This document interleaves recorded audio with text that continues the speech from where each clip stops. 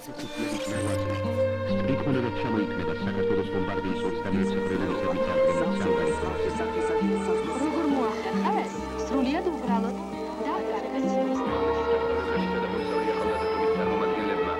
მაგურებელთა თვალწინ გააცოცხლეს ძირითადი ეტაპები საბჭოთა რაკეტები დღეს მშვიდობის გუნდია საიმედო დარაჯობს ჩვენი ხალხის შემოქმედებით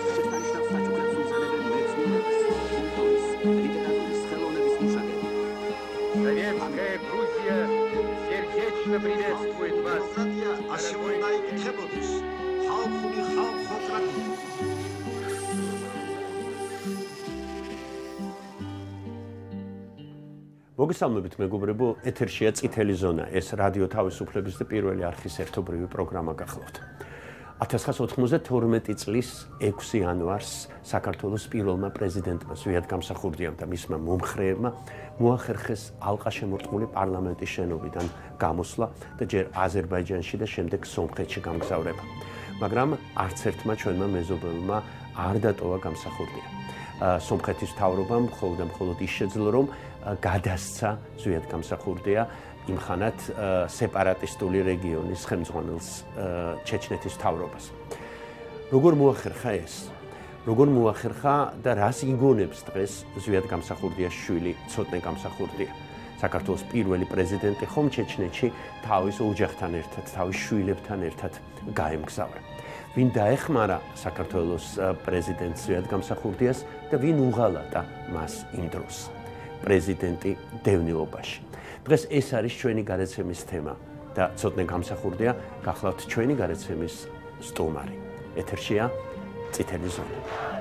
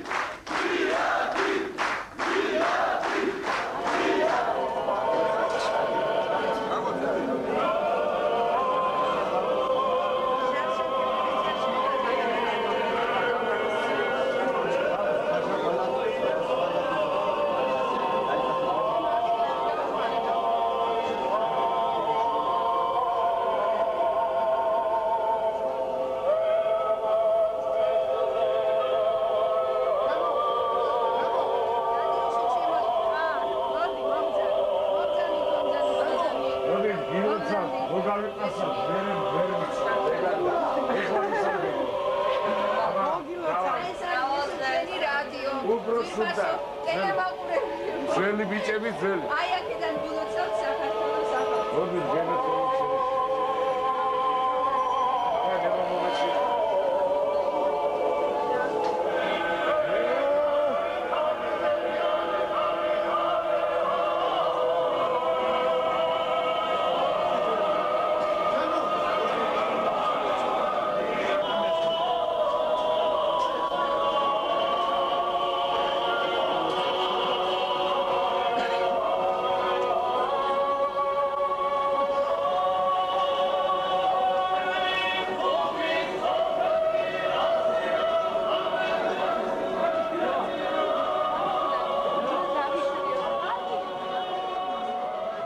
დავიწყოთ იმით რა რა გახსოვს.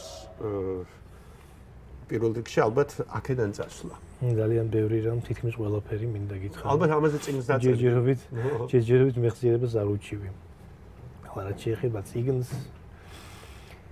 აა იცი რა არის არსებობს რაღაც გარკვეული სიახლოვის აბერაცია. ისტორიაში მოიხსენება ისე როგორც სიშორის. და აუცილებელია უბრალოდ გარკვეული დრო უნდა გავიდეს სანამ რაღაცას ვთქვათ, გაიხსენების. ის ფაქტია სხვათა შორის, რომ ადამიანი ერთი და იგივე მოვლენებს სხვადასხვანაირად იხსენებს. რომ დაგავიწყდეს? ხო, ეს საშიშროებას არსებობს, დიახ, მაგრამ თან მე რა არის, იცი?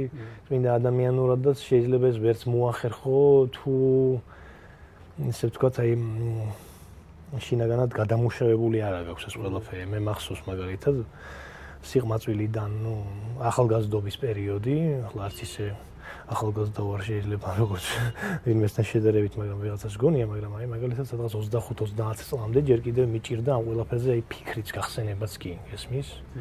აი მქონდა დიდი ინფორმაცია, აი მაშინ 20 წელს რომ ვიყავი და უშუალოდ იგივე ჩეჩნეთში მაშინ მithumetes, მაგრამ აი ვერ ვახერხებდი ამ ინფორმაციის გადამუშავებას, გააზრებას, ესე ვთქვათ, თუნდაც წესული მდგომარეობიდან გამომდინარე.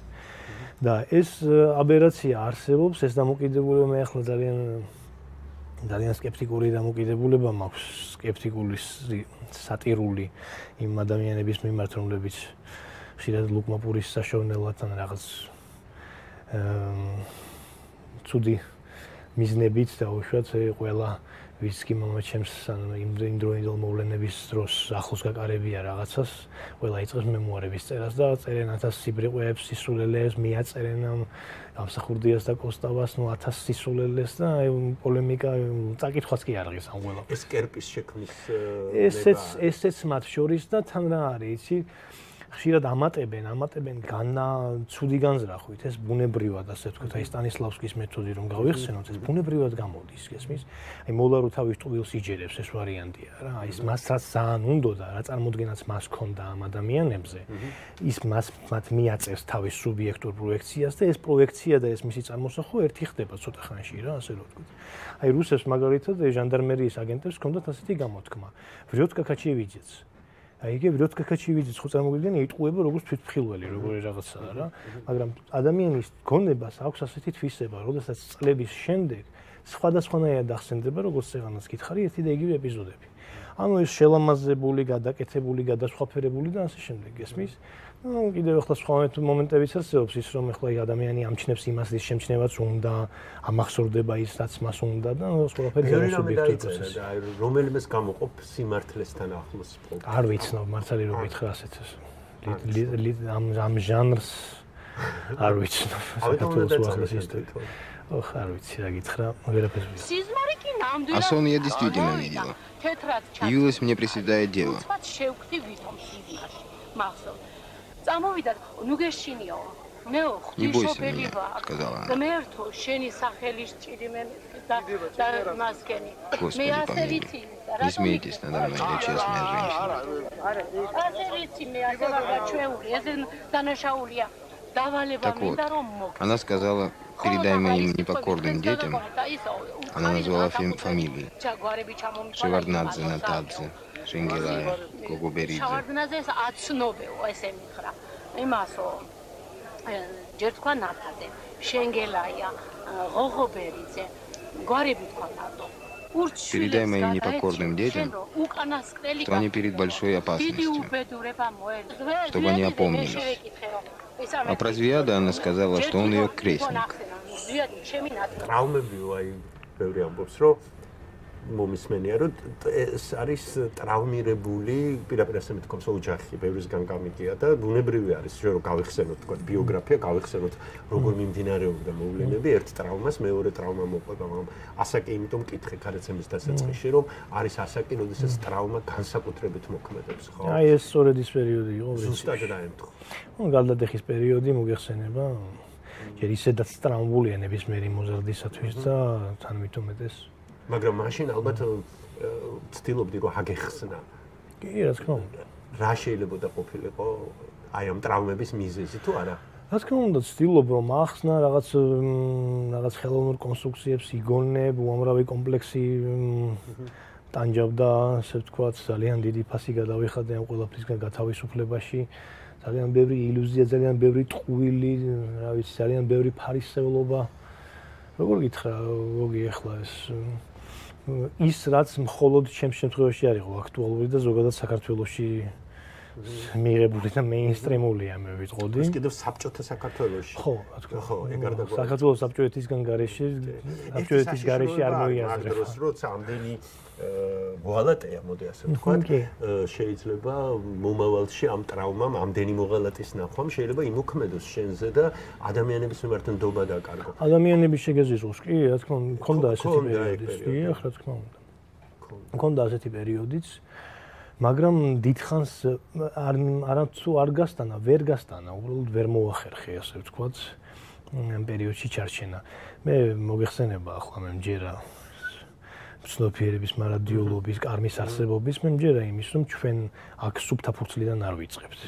და ალბათ რა ვიცი რაღაც პოზიტიური წანამძღვარი მქონდა რომ ამ ვერ ვერ შევიზიზღე უბრალოდ ვერ შევიძულე კაცთა მოდგმა მიუხედავად იმისა რომ ძალიან ბევრი საფუძველი მქონდა საამისოდ იქნებ კარგი ადამიანები ბევრი შეგხვდა და გადაწონეს მათ.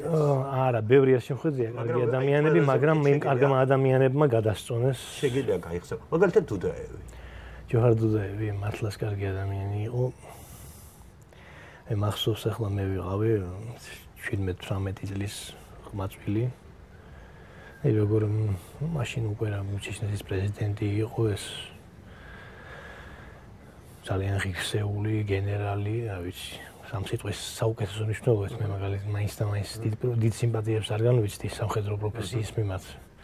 რა ვიცი, საწყენად არ ნურავენ გაიგებს და მიიღებს, მაგრამ ძალიან ღირსეული, ძალიან ესეთი ბუმბერაზი ადამიანი და ბანალური გამოთქმა რომ ამოვიყენო დიდთან დიდი იყო პატარასთან პატარა. მახსოვს მის კაბინეტში როგორ ამშვიდებდა, მიხსნიდა, რაღაც ჭკუას მარიგებდა, ასე რომ ვთქვა. აი, მამა ჩემის გარდაცვალებიდან არქეული ცირე პერიოდის შემდეგ. რო ჩახვედით მაშინ? მაშინ, მაშინ იმდენად მე არა საიდან მოდიოდა დიახ ჩვენთან, მოდიოდა მამა ჩემთან. მაშინ ახლა ჩვენ საიდან გვექნებოდა ასეთი ახლო შეხება, მაგრამ მისი ოჯახის წევრებთან, შვილებთან, ცოლთან, რა თქმა უნდა.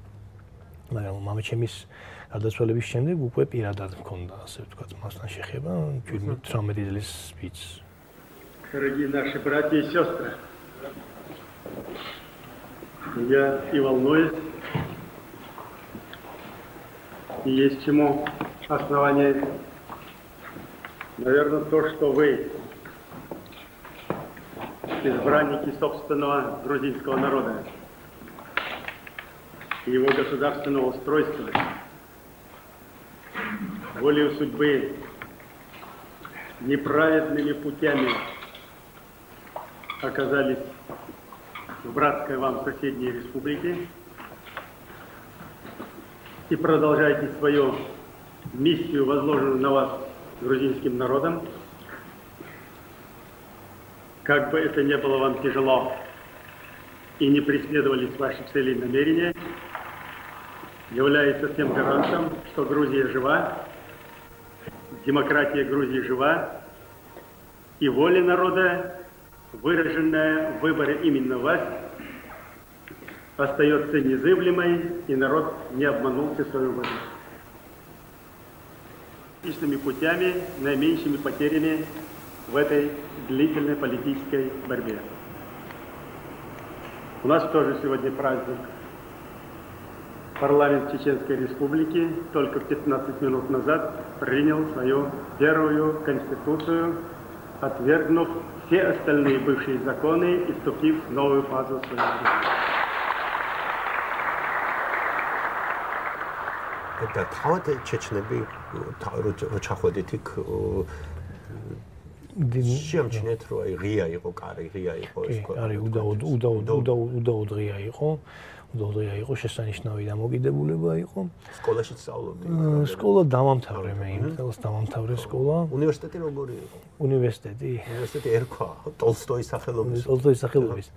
მე გეტყვი აი ტოლსტოის სახელობის უნივერსიტეტში ამას შეხოთაშორის ვიხსენებ ხოლმე და რუსული კარგად ვიცოდი, ქართველი ხმაწვილის პირობაზე. ხოლმე სკოლაში ხუთები და ოთხები მყავდა ამ საგანში. ჩემი მასწავლებლების წყალობით, სხვადასხვა დღესაც ძალიან დიდი სიმპათიით მახსენდება, მათი შემოყვარეს შეიძლება ითქვას რუსული პოეზია. რუსული კარგად ვიცოდი, მაგრამ ჩეჩნეთში რომ ჩავედი, მივხვდი რომ თუმე არაფერი არ მწოდნი.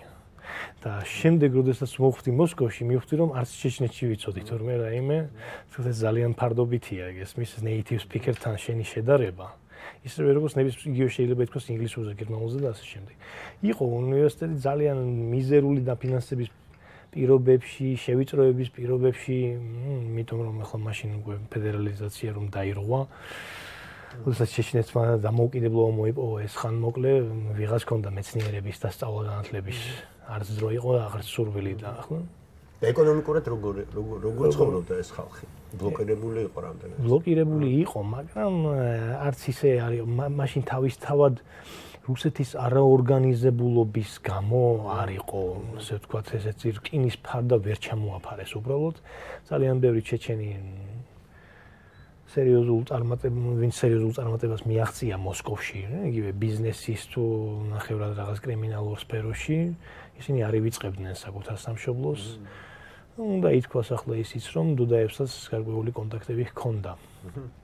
ამასაც ვთქვათ.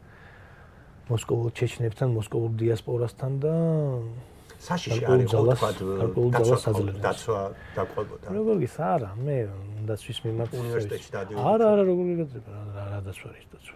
ანუ არ იყო საშიში, მაინც. არა, საშიში როგორ გითხრა?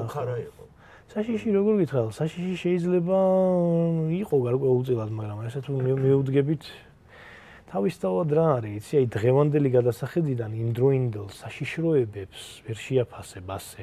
იმიტომ რომ რაც დღეს გეჩვენება, ასე ვთქვათ, მეტნაკლებად დაალაგებულ ცხოვრების პერიოდში, რომ საშიშია დღეს. მაშინ ეს ჩვეულებრივი აი ეს აი ეს აბერაციებზე და აღქმაზე გადავდივართ, გესმის? ახლა მაშინ მმ მასე შემიძლია საბრძოლო მოქმედებების პერიოდიც მოუყვე და ისევე როგორც აქ იყო ეს ყველაფერი და რა თქმა უნდა ის მაგაცილებით საშიში იყო ვიდრე ის რომ ჩვენ ამ შესანიშნავ კაფეში ვზივართ და დღეს ვსაუბრობთ ამაზე საშიში. მაშინ ალბათ საუბრობდით ქართულ საზოგადოებაზე რომელმაც მონაწილეობა მიიღო ყველაფერ ამაში რაც მოხდა. შენ თქვი რომ აი გარკვეული თვალსაზრისით გაბოროტებაც მქონდა ყველაფრის მიმართ. ამ საზოგადოების მიმართ შენი დამოკიდებულება როგორი იყო და თუ იცოდით და გძნობდით და საუბრობდით რა თქმა უნდა შევარდნაძე დაბრუნდება საქართველოში. გამარჯობათ. დღეს 91 წლის 11 სექტემბერია. ჩვენ დღევანდელ გადაცემას ვიწყებთ უნივერსიტეტის ეზოდან. აქ ჩატარდა დღეს ერთ-ერთი მე ვიტყოდი მორიგი მიტინგი, მაგრამ მიტინგი რომელიც არა ჩეულებრივად დამთავრდა. დასრულდა იგი იმით, რომ მომიტინგეთა ერთი ჯგუფი დაჯდა უნივერსიტეტის კიბეებზე მჯდომარე, ეგრეთ წოდებული მჯდომარი აქციის შესატარებლად. მაგრამ მანამ გავაგზავნებდეთ ჩვენს საუბარს და შევხვდებოდით ამ აქციის მონაწილეებს. მე მინდა გითხრათ, რომ არ ვიცი ეს გადაცემა ეთერში როდის გავა, ყოველ შემთხვევაში დღეს ნამდვილად არა, ვინაიდან ახლა უკვე ძალიან გვიან არის. ღამის 12 საათია. მოდი შევხვდე. გაუვლია იქ. არა, შევხვდე.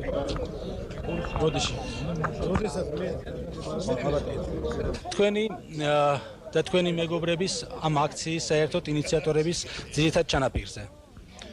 იცით რა, მე ვერ გეტყვით ინიციატორი ვინ არის, იმიტომ რომ აქ გამოცხადდა 2-3 კაცი, რომელმაც გადაწყვიტა აქ ჯდომა და მე მე ესე იგი ინტელიგენცია მიუძიდა თავისით ამ აქციაში მონაწილეობა მიიღო. რა მოთხოვნით?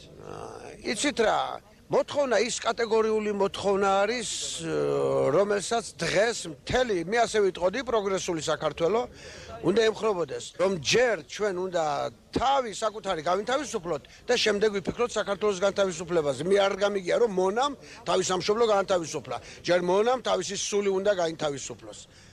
შევანაზე რომ დაბრუნდება, მაშინ ჯერ ესეთი ეხლა დავიწყოთ აქედან მე მამაჩემთან ძალიან მორიდებული და მოკიდებული მომქონდა. განა იმიტომ რომ ის თვითონ ითხოვდა, იწევდა ამ ყველაფერს. არა, უბრალოდ, რა ვიცი, ასე გამოვიდა. რომ ეს მას ფაქტიურად მხოლოდ ესე ვთქვათ დისტანცია მეჭირა და მხოლოდ ესე ვთქვათ, რასაც მეტყოლა დამავალებდა მას ვაკეთებდი და ახლო კონტაქტში არ შევდიოდი, რაც თვითონ სვათაშორის ძალიან წინდა. მაგრამ შეგვიძლია რომ ყველაფერს უკან იდგა ეს პირველი დღიდანვე არ ყოფილა საიდუმლო და არ ყოფილა ასე ვთქვათ გასაკვირი. და რო ჩამოვიდოდა? რო ჩამოვიდოდა, ხო ეს ძალიან მალე მოხდა როგორც გახსოვს ორ თვეში ორ თვეში მოხდა 6 მარტს იყო თუ არ ვწდები, ხო 6 მარტს ორ თვეში ფაქტიურად რა. თბილისიდან 6 იანვარს წავედით და 6 მარტს შევრდნაზე დაბრუნდა. ასე რომ მარტს ყოფილა რაღაც ისეთი სამკითხაოდ დრო რომ აი დაბრუნდება არ დაბრუნდება, ამას არავის ეპარებოდა ამაში ეჭვი.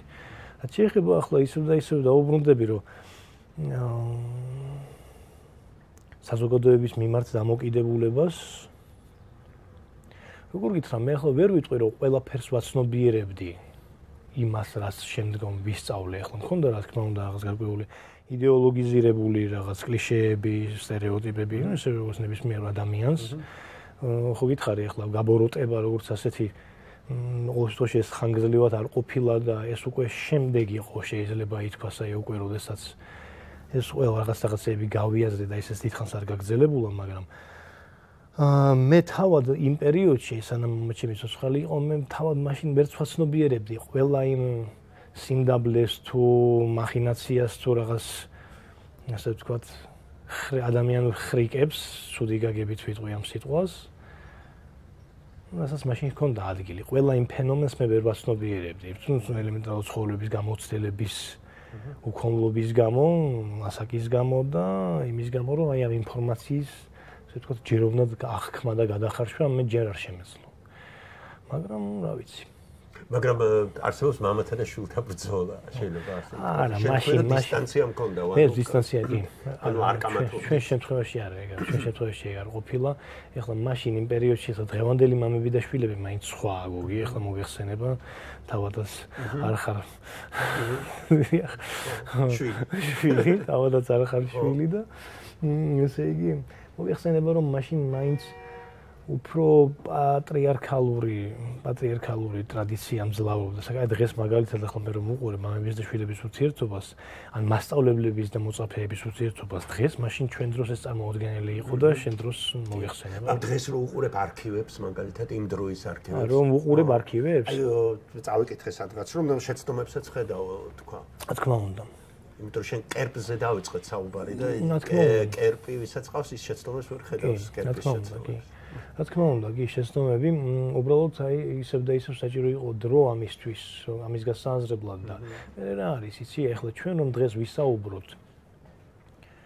იმაზე, როგორ იქცეოდა დაუშვათ აი ნოე ჟორდანია დაუშვათ, ან როგორ იქცეოდა აი დავით აღმაშენებელი ძალიან ეს მაგას მაგალითი უბრალოდ მკლავს რომ აი 1000 წლის მიჯნას ვერ გადმოვდივართ. აქეთ და დღესაც მიდის რომ აი დავითი ამასით წავიკითხე რომ ეკონომიკური ეკონომიკური წარმატებაო დავით აღმაშენებლის პერიოდში როგორი იყო? ვიღაც სული სერიოზულობით წერდა ისმის და ყოველდღე წარსული რა თქმა უნდა დიახ და. ჩვენ რომ დღეს დღევანდელი გადასახედიდან ვიმსჯელოთ იმაზე ძალიან ძნელი იქნება მოდი ჩვენ არ დაგვაუიწყდეს რომ მაშ რა პერიოდი იყო მაშინ? საბჭოთა კავშირის დაშლის პერიოდი მთელი საფრთხეები რაც გააცნობიერა გახლად გამოგვიძებულმა საზოგადოებამ და ისევე როგორც საზოგადოებამ ლიდერებმაც იმ შემთხვევაში არ იცოდნენ ბუნებრივია ძალიან ბევრი რამ და ისინიც პირველ ნაბიჯებს გავდნენ შეიძლება ითქვას პოლიტიკაში. იყო გადაჭერბებული შეიძლება ითქვას რადიკალიზმი. სხვანაირად ვერ იქნებოდა. ჩვენმა დამოუდგებით მხარში ოღონდ იმ პირობით რომ უნდა აღადგინონ ისტორიული სამართლიანობა და დაგვითმონ ჩვენი მიწაწყალი და დამკვიდრდნენ იქ, საიდანაც მობრძანდნენ. ეხოთ აქ გამომსვლელებს თუ ვინმე მოინდომებს ამ ჭეშმარიტების სხვაგვარად წარმოქმნას არ მოусმინოთ. აფხაზიერი არ არსებობს ვიმეორებ. საქართველოს ძინაამდე ეკოლოგიური ომის შეწყვეტას, რაც გამოიხატება გიგანტური ჰესების მშენებლობაში, გიგანტური წყალსაცავების მშენებლობაში, რაც სჭირდება ესოდენ ხელოვნურად გაზრდილ ინდუსტრიას, რომელიც საქართველოს ინტერესებს არ ემსახურება, რომელიც ემსახურება ცენტრალისტური ხელისუფლების ინტერესებს და მიზნად ისახავს საქართველოს რუსიფიკაციას, დემოგრაფიული წონასწორობის დარღვევას და უცხოტომების ხელოვნურად გამრავლებას საქართველოში. ამით ჩვენ არამც და არამც არ გამოვთქვავთ. ტრობას სხვა ერებისადმი, მაგრამ ჩვენი ერის ინტერესები პირველ პირველადია. საქართველოს ქართველების ქვეყანაა უპირველეს ყოვლისა და სხვა ყველანი მოსულნი არიან, სტუმრები არიან. ეს უნდა გაითვალისწინოს ყველამ. ახლა ვინ თქვა, მე მგონი ერთ-ერთმა ჩვენო მეგობარმა დაწერა გამსახურდიას რომ მარეძალა ესენი დღესაც საბჭოთა კავშირში იქნებოდნენ ნუ რაღაც ინტელიგენციის დღევანდელ მანევრებზე.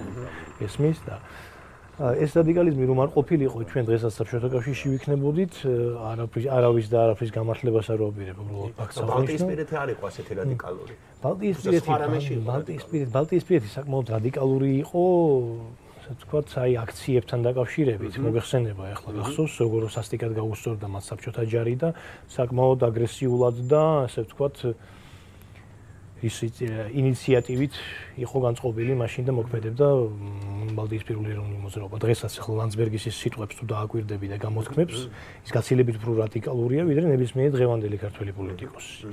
დღესაც მაგრამ ჩვენს შემთხვევაში კიდევ ძალიან ძიმე გეოგრაფიულმა გარემომაც განაპირობა ეს ყველაფერი.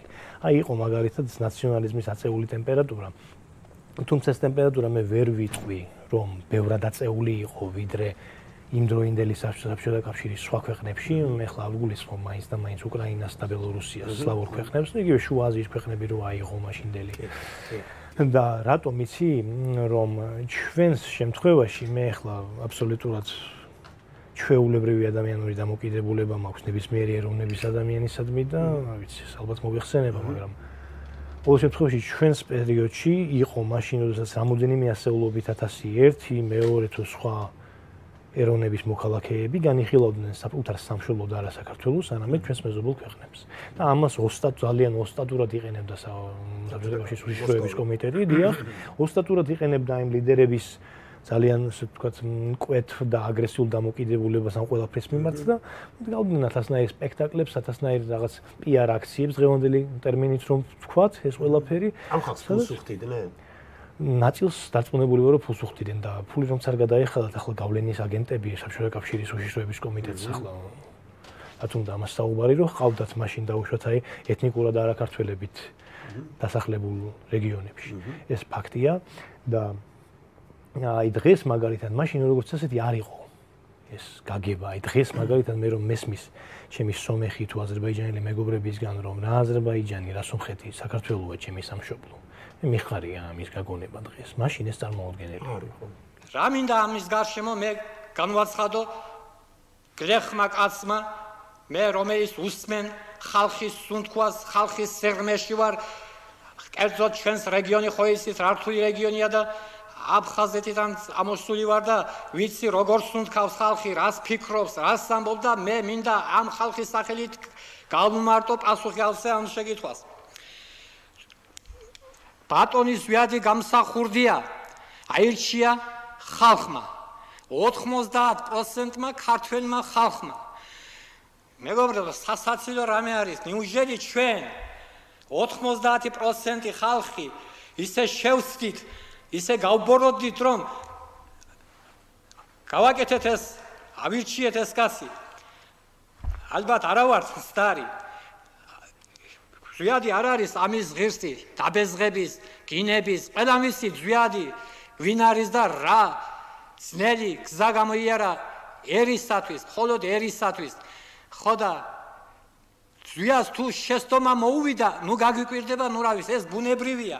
უშეცდომო კაცი ქვეყანაზე არ არის, მაგრამ ჩვენ გავითვალისწინოთ მისი დადებითი მხარეები, დადებითი, თუ დადებითი ჭარბობს უარყოფით ხარეს, მაშინ ჩვენ უნდა მას დავეხმაროთ.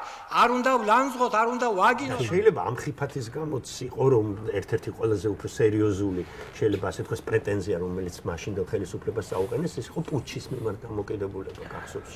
კი, პუჩის მიმართ დამოკიდებულება. თვითონ შეცდომა იყო. რა იყო იცი? ვერ ვიტყვი ახლა სიღრმისეულად, უბრალოდ ერთამეს გეტყვი, მაშინ მას უბრალოდ არ აინტერესებდა რა ხდებოდა მოსკოვში. ასე ვთქვათ, მისთვის თავარი იყო იმაშინ საქართველოს ამა ჩემზე ვიძახი. მისთვის თავარი იყო იმ მომენტში, რომ რუსი ჯარი აქ არ შემოსულიყო. აი ეს და ეს. რა ხდებოდა აქ სოფლიო პოლიტიკაში იმ მომენტში და ეს გარკვეულწილად სწორი იყო იმ გაგებით, რომ ჩვენ მაშინ იმდენი თავის ტკივილი გქონდა, იმდენად მცირე იყო ჩვენი ხმა, რომ ასე ვთქვათ, რა ვიცი. მეზობლები გაიხსენა. ჯერ დღეს ვინც დღეს დღეს ვის რაში აინტერესებს და მაშინ ხომ წარმოგიდგენთ. მეზობლები გაიხსენა და გუშინ წავიკითხე არ მახსოვდა რომ ჯერ აზერბაიჯანში წახვედით თქვენ, ხო? ჯერ აზერბაიჯანში. აზერბაიჯანი ბაქომდე არა რა თქმა უნდა. არა, ბაქომდე არა, განჯაში. და გითხრეს რომ წადით აქედან. დიახ, მაშინ იყო, მაშინ პრეზიდენტი იყო აიაზ მუთალიბოვი და აიაზ მუთალიბოვს პირდაპირ რომ ვთქვა შეეშინდა ძალიან გთხოვეს ასე რომ ვთქვათ რომ ორი დივიზია დგას. მაშინ ჯერ კიდევ საბჭოთა ჯარის საბჭოთა საბჭოთა უფროსწოდ მე რე უკვე რუსული ჯარის და ამე იყო დიახ. ამე ხდება. არა ღამე ერთი ღამე არ იყო მე მგონი თუ აფსტები ორი ღამე გავათენეთ იქ მანქანებში. ავტობუსში. მანქანებშივე არა, ერთი ავტობუსი არა, მანქანები კოლონა იყო. და მე რეგ გადმოხდით სომხეთში. და შემდეგ გადავედით სომხეთში, დიახ. ერევნამდე? ერევნამდე როგორ გითხრა? აი, შემოვლითი გზებით მივედით ეს იყო ეგეთი სანატორიუმი მაღალთიან რაიონში, სასონხეთის. სანატორიი для Сибиряков. წარმოგიდგენია ახლა სიმბირელები რომ ინვიზგან გაწამებულ სიმბირელებს რომ იქ დასასვენებლად ეჩვენებათ ეს ადგილი. გახსოვს კავკასიის ტყეს ტყექალში бесплатная путевка в Сибирь. აი ეგ დაახლოებით ასეთი ადგილი იყო. და იქ გავჩერდი. ორი რამდენიმე დღე? ორი კვირა. ორი კვირა იქ იყო აბსოლუტური აბსოლუტური იზოლაცია შეიძლება ითქვას პეტროსიანის ხელისუფლების მხრიდან აბსოლუტური იზოლაცია და შიში ამავე დროს გაურკვევლობაში იყო არ იცოდა რა გაეკეთებინა მოსკოვიდან ელოდებოდა მითითებას მოსკოვიდან ელოდებოდა მოსკოვიდანაც ხო მიმდინარეობს სასტიკი შეტაკებები ქალაქის ცენტრში პარლამენტის შენობის ირგვლივ მიმდებარე ქუჩებში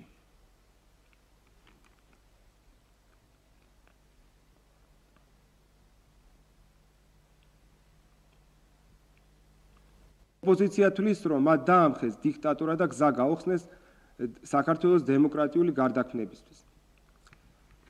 პრეზიდენტი თავისი ამალით აზერბაიჯანში ქალაქ კახში გაემართა. შემდეგი ცნობებით, დაზუსტებული ცნობებით, მან სასომხეთში ქალაქ იჯევანში გადაინაცვლა. პრეზიდენტმა დიდი უმრავლესობით გაიმარჯვა არჩევნებში. ქართველი ხალხი მასში ხედავდა რეფორმატორს, მაგრამ მისი შემდგომი მოქმედება გადაიზარდა დიქტატურაში. დიქტატურის დამარცხების შემდეგ სამხედრო საბჭოს წარმომადგენლებმა გამართეს პრეს-კონფერენცია სადაც აღნიშნეს რომ დაადგები დაადგებიან დემოკრატიული სტრუქტურების შენების გზას. და მახსოვს თბილისიდან ჩამოვიდნენ ვიღაც ახლა ზუსტად აღარ მახსოვს და არც მინდა დავასახელო. ჩამოვიდნენ დასაპატიმრებლად. არა, ჩამოვიდნენ შენთვის საყვარელი ინტელიგენციის წევრები, სხვები, რომლებიც გამსახურდიან მაქედონ 200 მილიონი მანე ოქროს ოქროს მონეტი კი 200 მილიონი მონეტი წაიო, ის უნდა დავაპატიმროთ, გადმოგვეცით და რაღაც ასეთი მსგავსი მოთხოვნებით ჩამოვიდნენ. მათ შორის ინტელიგენციის წარმომადგენლებიც როგორც უკვე აღნიშნე და ინტელიგენციას რატო არ უყარდა ზვიად გამსახურდია მაგ ინტელიგენციას? მოდი ეს დავამ მომორჩები ჯერ კი ბატონო მოდი ამ საკითხზე და შემდეგ ვილაპარაკოთ. თორე კვირა გავჩერდით ნუ ნელ-ნელა შეწყდა ყველაფერი ესე ვთქვა ჯერ მახსოვს რომ აა არაკი აღარ იყო მე რეყველი მე პური ბოლოს დარჩა რა ვიცი ჩაი და წყალი და ამასობაში გავიდა ორი კვირა და ამ პერიოდში სწორედ ჯოჰადუდაემო მოახერხა ის რომ მიიღო სამხრეთის ხელისუფლების თანხმობა დაეყოლიებინა სამხრეთის ხელისუფლება ჩვენს გროზნოში გადასვლას. ახსოვს მაშინ წამოვედით ერევანში და ეზვარტნოსის აეროპორტიდან გადავედით ჩეჩნეთში. აგვედევდნენ გამანადგურებლები მაშინ თვითონაც აედევდნენ სოხუმელიკაციის და შტურვალთან ზაურბედია ახსოვს ზაურმა დაწია დაბლა ეს თვითონავე რაც შეიძლება და დაბლა ჩააქრო შუქები. ეს თქოს რომ არ ყოფილიყო მოსაცნობი ნიში შეიძლება და აეფეთქებინა კი შეიძლება კი. მე ვფიქრობ რომ ძალიან ძალიან რომ ზდომოდათ შეიძლება ეს გაეკეთებინათ კიდეც მაგრამ რაღაცას ელოდებოდნენ ალბათ ან რაღაც გაურკვევლობაში და თანამ პილოტის მანევრებმაც რაღაც გარკვეული როლი ითამაშა ასე. და იმას ელოდებოდნენ ალბათ რომ თბილისსა და გროზნოს შორის დაძაბულიყო ურთიერთობა, რატომ ეს ჩაოლებრივი ესეთი მოსკოვური სქემა არის, რომელიც არაერთხელ გაუკეთებიათ რომ და ჩეჩნეთისგან ტრისხატის შექმნა, რაც დაიწყო სწორედ მაგ რო აეფეთქებინათ ეს არა, არა, როდესაც გაგიშვეს. ჩვენს ჩასვლას იქ რომ გამოეწვია თბილისსა და რა თქმა უნდა და მოხდა კიდეც ეს დაპირისპირება. იცი მე თქო და ომის დროსაც საუბრობდნენ მაგრამ ჩეჩნები გვებრძვიან. არა ეს საუბრობდნენ მაგრამ აგები ასე მუშაობდა ესე იგი არა რუსები გვებრძვიან. კი მაგრამ ამისთვის საჭირო იქნებოდა ის რომ მოსახლეობის აბსოლუტურად უმეტესი ნაწილის განმასახიერე განმასახიერებელი ასე თქო არტიკულატორი მის ინტერესებისა ყოფილიყო შევარდნაძის ხუნტა და ახლა მაშინ მოგოს მოგეხსენება მიუხედავად სიმპათიისა თუ ანტიპათიისა მის მიმართ ახლა მას რომ უმრავლესობა ხოლო და უმრავლესობა ხოლო და ხარდაჭერების შეერაღებული გადატრიალება აღარს დასჭირდებოდა ხო? რა თქმა უნდა. ახლა მაშინ შევარნაძის რეჟიმი არ წარმოადგენდა ასე ვთქვათ საქართველოს სახეს და ვერ გამოიწვევდა არ ამგონია რომ ამას გამოეწვია. ჩეჩნეთსა და საქართველოს შორის დაპირისპირება მე ვფიქრობ უფრო მოგვიანებით მოხდა ამას დაიწყო ამაზე ფიქრი და ეს გააკეთეს სწორედ აფხაზეთის ომში. აფხაზეთის ომში. აფხაზეთის ომში. და ეს განსაკუთრებით დაიწყო ვითარება, როდესაც ზვიად გამსახურდია სამეგრელოში ჩავიდა. პირველი გარანტია ჩაის კულტურა დღეს. და ამას უნდა მივხედოთ ძალიან სერიოზულად. აი მე გთხოვთ. თუ ჩემი პატივისცემა გაქვს და თუ ჩემი სიყვარული გაქვს, აი ამით უნდა დავამტკიცოთ ახლა. რომ ამას რომ ჩვენი რეგიონის ეკონომიკური პოტენციალი ამაღლდეს. ამაზე არის დამოკიდებული კანონიერი ხელისუფლების აღდგენაც იმ ომში გამარჯვებას და ბევრი სხვა რამე მეგობრებო. აი ეს მინდა რომ იცოდეთ. მე ამას ყველას ვეთყვი, ყველა რეგიონს თქვენ ალბათ ხვდებით ამას, რატომ ამბობ, ამის მიხედვით რომ ძალიან ძნელი არ არის და აი ეს სათხოვარი მაქვს მე თქვენთან. მართალია ის ეხლა დროა უკვე გამოვიდეთ იმ ძიმე შოკიდან, რომელშიც ჩაგვაგდო ამ ხუნტამ, ამ უკანონო ხელისუფლებამ და ეხლა უნდა გადავიდეთ შრომაზე, კაც დისციპლინაზე და უშველოთ საქართველოს. აი ეს არის ჩემი სათხოვარი. უპირველესი სათხოვარი. იყავი შენც იქ? არა. არ ყოფილ. შენ მე მგონი მოსკოვში. მაშინ გროზნოში არა, მაშინ გროზნოში დავრჩი მე და დავრჩი რა დამტოვა მაჩემ უბრალოდ და არ წამიყვანა მიუხედავად ჩემი დიდი თხოვნისა. რა ვიცი, მე ვფიქრობ რომ მაინც იწოდა, რადგან მიდიოდა. შემდეგ რა ვიცი.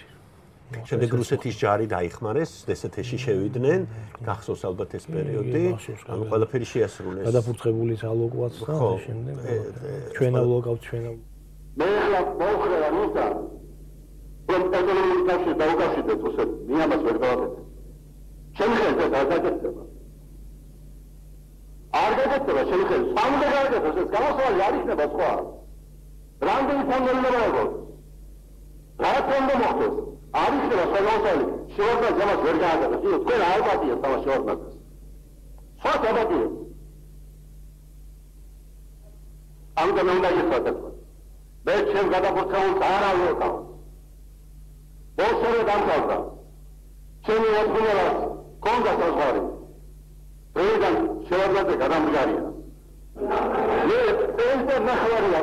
ის მოხდა შეიძლება და ყველაფერი მოიწმინდა რითაც უნდა შეიძლებოდა ყველაფერი მოიწმინდა ალეთის მოსახლეობა პარლამენტის შენობასთან შეგროვდა ერთი თხოვნით რომ მას უარი ეთქვა გადადგომაზე. ყველაფერი როგორ ფიქრობ შენ დაგეგმილი იყო თუ სპონტანურად მოხდა? გოგი მე ამჯერა შეთქმულების თეორიების.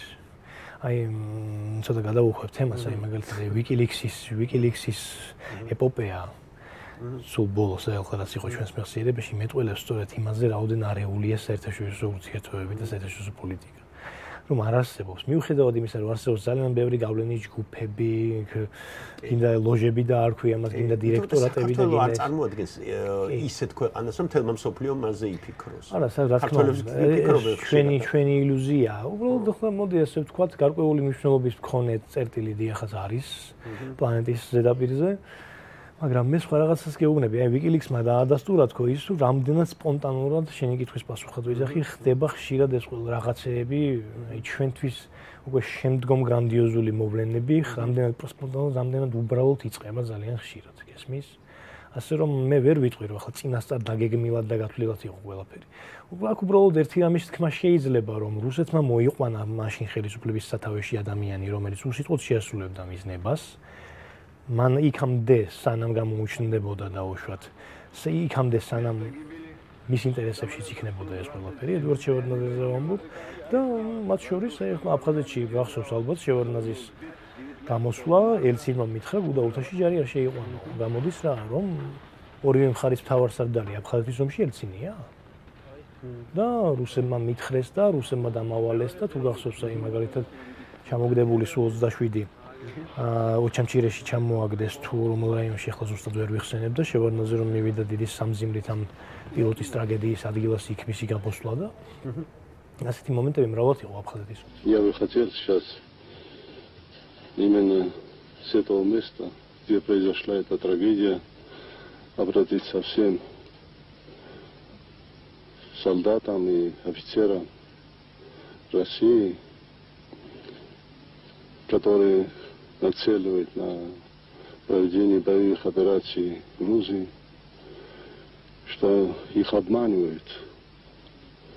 Я хорошо помню историю, и пусть они не забивают, что случилось в Афганистане, что получилось в Венгрии, Чехословакии.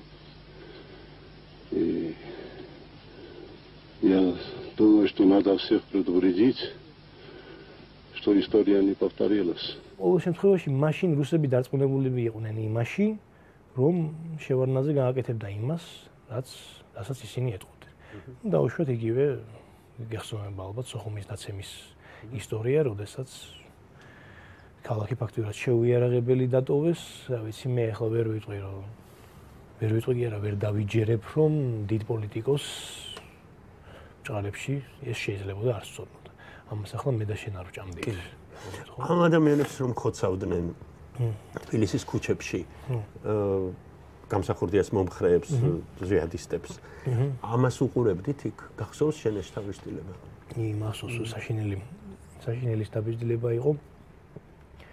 ну ახლა ჩემი პირად შტაბეჭდილებაზე რომ არ ვილაპარაკო თუ შენ ეს გაინტერესებს მაინც და მაინც მამა ჩემი შტაბეჭდილება საშინელი იყო ამაზე რა ვიცი. რა ვიცი რაღაც გამოუვალობის ტრაგედიის. ну ფაქტიურად ფაქტიურად სევლებამდე იყო მისი რეაქცია. იყო მისი რეაქცია. ჩავიდა ესე მქონდა იმ საერთოდ ის ძალიან როგორ გითხრათ მისი სოფხედველობა ასე ვთქვათ არ იყო ჩვენი დღევანდელი გაგებით ასე ვთქვათ აი დღევანდელი სიტუაციიდან გამომდინარე ასე კაცრად რაციონალური რომ ვთქვა. ისევე როგორც ნებისმიერ ცხოვრების თულ სიტუაციის ცხოვრების თულ სიტუაციაში მოხვედრილ ადამიანს ვერ თხო, ვერ მოთხოვ რომ მეგი ასე ვთქვა რაღაც კალკულატორივით ასე ვთქვა აბსოლუტურად 2-2-4-ის პრინციპით მიუძგეს მოვლენებს და ну იყო რაღაც მოვალეობის შეგზნება, ფატალიზმის შეგზნება, ალბათ რაღაც რა ვიცი რელიგიური შეფერილობაც რელიგიური თუ რა ვიცი ეროვნულ რელიგიური უფრო სწორი სიტყვა იქნება რომ ვიხმარო რაღაცა იმ მენტალიტეტის რაც მას ჰქონდა ეს შეფერილობაც ჰქონდა მის შეხედულებებს.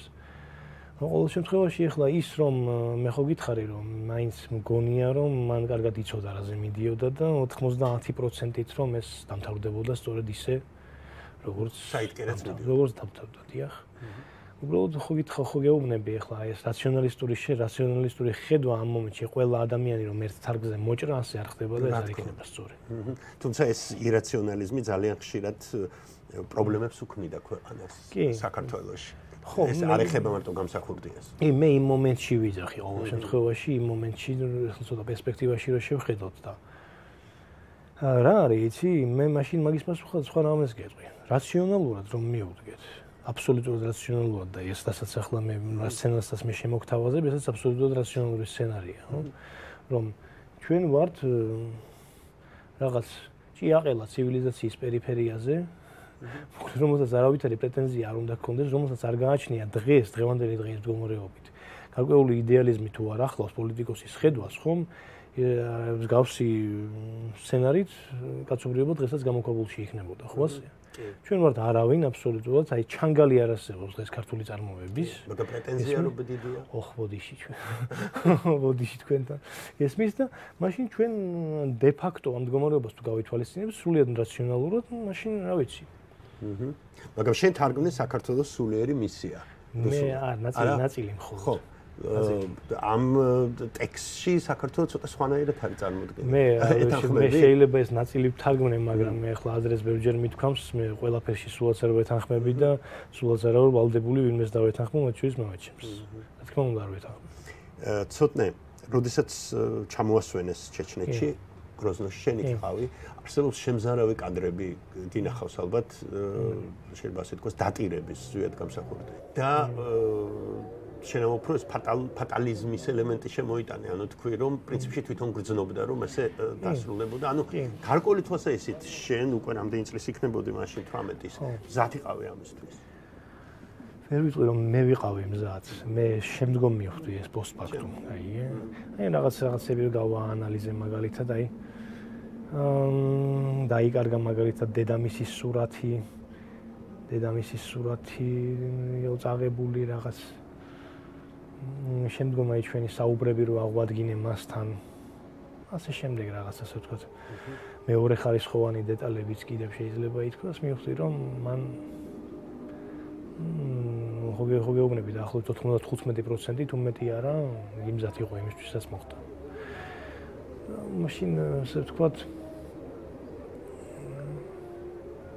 რა არის იცი არსებობს ასეთი ხედვა უთანასწორო ბრძოლაში, როდესაც ნუ განდახევას არაპირებ, რომ შენ უნდა გაუძლო, უნდა აი ბოლო ამოსულ თქვამდე, ესე ვთქვათ, როდესაც მიზანი სიცოცხლეზე მეტია. არსებობს ასეთი ეს არ არის რაციონალური ხედვა, ახლა წმინდა ევროპული, თუ გნებობს ლიბერალური რაღაც ბურჟუაზიული ხედვა ეს არ არის, ამას ის ვერ გაიგებს უბრალოდ ეგონები გიჟი. ეხლა მე არავის არ ვედრები, მაგრამ აი უშუალოდ აი მეც მქონია ეს. მომენტი ცხოვრების მანძილზე და გაუძლები და არაფერი გრჩება სიკვდილის თუნდა და უფრო გმირული სიკვდილის. გმირულია, გმირობაზე არ ფიქრობ, ასეთი გმირობა, გმირობა შეფასებითი კატეგორიაა, მე ვიტყოდი. აი ვერც ერთი აი ისტორიის მანძილზე ვერც ერთი გმირი, ესე ვთქვათ, აი ვერც კი წარმოიდგენდა ალბათ იმ შეფასებას, როგორც მას შეაფასებდა შთამომავლობა.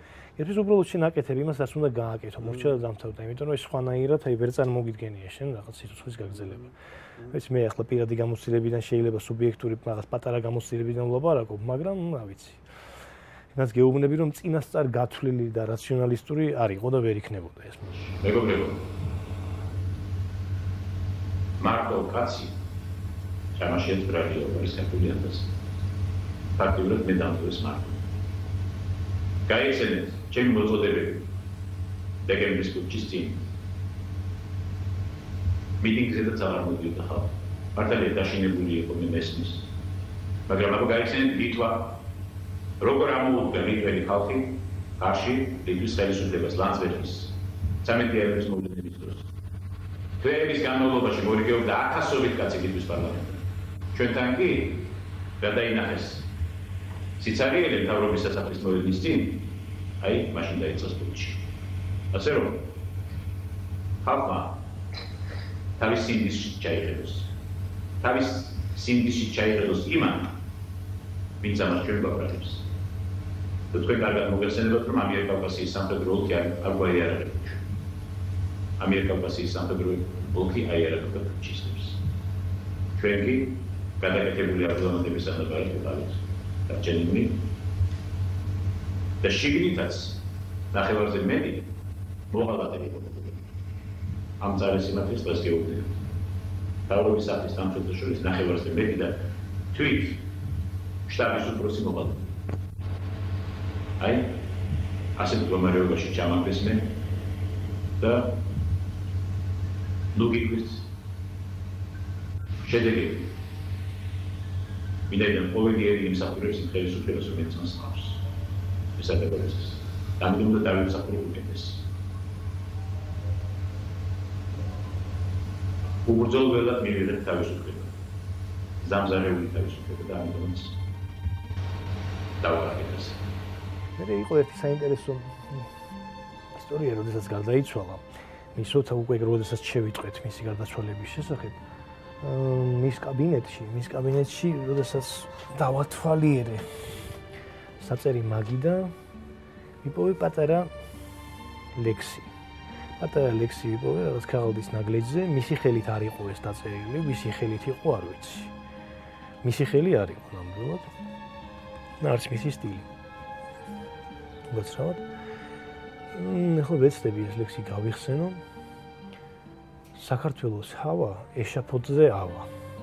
აზთა სამრეკლოდან აფრინდება ყვავი, შეეწია ღმერთო და ნათელი ხავი. ერთადერთი ქალდის ნაგლეჯი ეგდო ამ გამოცარიელებულ საჭირო წერი მაგიდის უჯრებში. ისე და არ ვიცი. აი რაღაცა ესეთი რაღაც ნახევრად მისტიური ისტორია შემიძლია უბრალოდ აი გავიხსენე არასოდეს ეს არავისთან არ გამიხსენები.